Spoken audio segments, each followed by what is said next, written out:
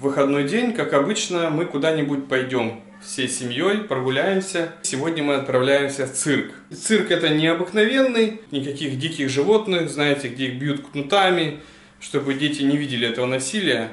Мне кажется, ну, Алена не, не любит такие цирки. Я вообще цирки как бы не очень люблю. Ну, ради Алисы я готов на это пойти, чтобы ребенок посмотрел. Там будут только кошечки, собачки, и именно само представление будет интересно поставлены сцены. А вы часто ходите в цирк, водите детей, как относитесь к таким мероприятиям? Без насилия. Без насилия, да, он подсказывает. Чтобы не было там насилия, чтобы вот кошечки, собачки, чисто домашнее животное. Хотя мне кажется, Ален, что все равно там их тоже как-то дрессируют. Ну, для домашних это нормально. Домашних собак хозяева дрессируют. Ко мне, Для собак это нормально. Ко мне... Только для львов и тигров нельзя, да? А для собак для нормально. собак это друг человека. Это они Ну да, друзей бить, да, чтобы натренировать. Ну ладно, это шутка шутками. А отправляемся мы в цирк чудес. Кто был, расскажите, какие у вас впечатления. Ты- ты сильно хочешь ехать в цирк? Я хочу ради совместного досуга нашего отдыха, чтобы Алису сводить тоже в интересное место какое-то для разнообразия. Потому что все-таки детские представления это ну, то, что взрослых вообще не впечатляет. И жалко упустить момент, когда ребенок может ахать, охать, радоваться. Просто потому что взрослым это неинтересно. Вот мы и прибыли в цирк чудес. Мы немножко опоздали, поэтому сейчас будем просить, чтобы нас пустили. Где собачки с кошечками? Как тебе цирк? Особенно ты ж мы же приехали сюда ради фаршета, а, а Алиса ради цирка. Нет, тут прикольно то, что ну, как бы есть по программе еще фуршет. Но примерно через 5 секунд но примерно через 5 секунд после того, как все Не выносят, надо, говорю, мне давать, может, ты голодный, ты глазами на меня Не смотришь. В общем, мне ну, выносят кое-какие фрукты, и просто такая плотность населения возле стола, то, что, мне кажется, в столе даже профлешены в скатерти остаются буквально через секунду 8. Мы Блин, я хотел попить, а там шампанское. Как бы, если бы Водичку отдыхал, да, если бы отдыхал, то можно попить. А так как с ребенком На на руках в темных помещениях, поэтому не стал пить. Поначалу очень скептично, ну, как бы настроена была. Мне казалось, что ну так, но потом прикольно, много было номеров, я даже прослезилась на одном. Гадай, каком? Рыдала буквально. Немножко. А ты? Хорошо. Единственный косяк, который мы обнаружили, пока такой серьезный, что здесь не принимают карты. Нигде, причем несколько ну, разных типов буфетов, не в одном буфете, только наличка, ни бутерброды, ни воду, ни мороженое. Вообще ничего, у меня вот в кармане было, ничего там 300 рублей осталось, непонятно Ну, вот сколько. Сто лет там 200, лежали. И 100 вода, и все. Вот. Ну, как-то Конечно, это вообще. небольшой минус. Если придете сюда без денег, то останетесь голодные. А домой ты хочешь? Нет. А еще сюда придем? Да? А попкорн вкусный был? Попкорн вкусный кушали мы? Да. Ну хорошо, все понравилось тебе? Да, пойдем, пойдем. И огоньки понравились, да? Огоньки, как которые мигали, да? Лазеры, вот так вот, да? Тоже отличненько, да? Супер. О, о, показывай, как мы учили Алису. О, Ой. Сейчас будет продолжение, да?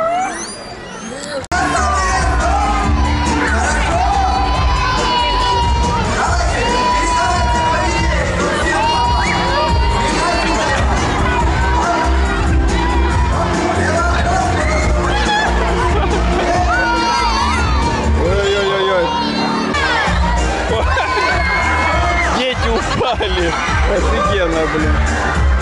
Не, он резко, мне тоже холодно. Девочка, упадешь сейчас на нас. Садись. Кресло сложится вот так вот, и ты упадешь вниз.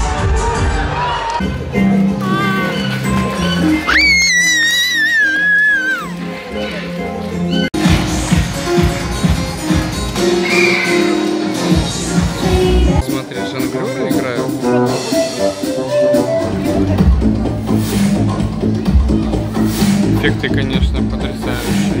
Очень интересно Алисе наблюдать, хоть немножко и слепит. Здесь присутствует и воздушный балет. Алиса тоже с удовольствием его смотрит. А вот легкие БДСМ, смотрите. Вот они меняются по очереди. Он, она. Вот самая любимая моя часть протыкания людей. Мне котел какой-то варить что ли будут? Что-то они, я смотрю, вытаскивают, и они чистые.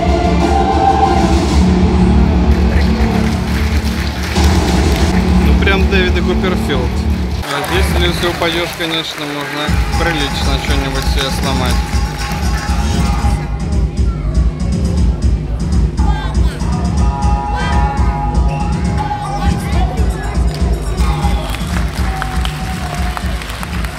Наконец-таки Алиса дождалась собачек. За этим-то и приезжали. Алиса, смотри нам какой дом достался. Маме пришли товары, а нам достается... Не, это ипотека наша. А. Вот, Мама потратила ремонтные деньги, поэтому теперь у нас хватит почти только... как однокомнатная Пошли квартира. смотри. Не надо смотреть, смотрите на расстоянии. Так. Вечно видео, да, где папа по коробкам вот это вот решается. Короче, а, долго мечтала о своей квартире. Отдельной.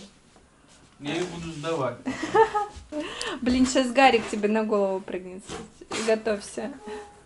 Алиса, Алиса, ты пойдешь ко мне в гости? Го- в гости, В гости нормально? придешь ко мне? Гарик, залазь. Залазь туда к хозяину к своему. Иди ко мне в гости. Опа! Все, садись. Садись. Все, закрываем. Мы будем жить теперь отдельно. Смотри, какой дом, а мы с тобой не видели. Это, скорее всего, будет дом котов. Мы не будем его выкидывать. Помнишь, какая у нас была большая коробка, А, когда привезли это- матрас? Это, знаешь, когда у тебя 100 метров, то можно так баловаться. Ну вот. Ну вот, а здесь сколько? А здесь мы ее поставим, смотри. Поставим, где ты сидишь, возле тебя прям поставим. Но мы не будем выкидывать, смотри, мы можем сюда поставить. Не для переезда она может прыгать, но она Не, она слабенькая, она, она хлюпенькая для переезда. Все, накрываемся? Алиса, как тебе домик? Нравится? А маму возьмете к себе? Можно к вам залезть? А ну-ка. Это будет как из теремка просто.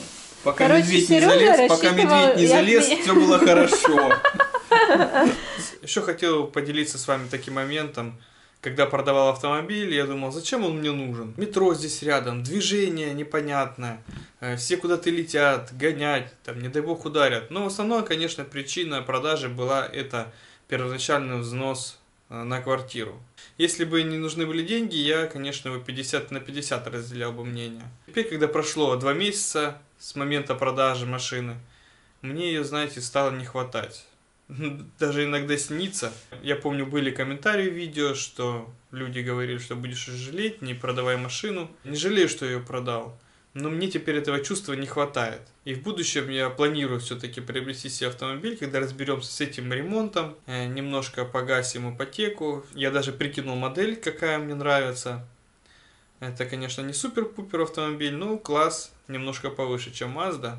Все-таки для мужчины это такой, знаете, как еще один маленький ребенок. Ухаживаешь за ним, возишь семью. Меня прям вдохновляют эти мысли о покупке именно нового автомобиля с салона.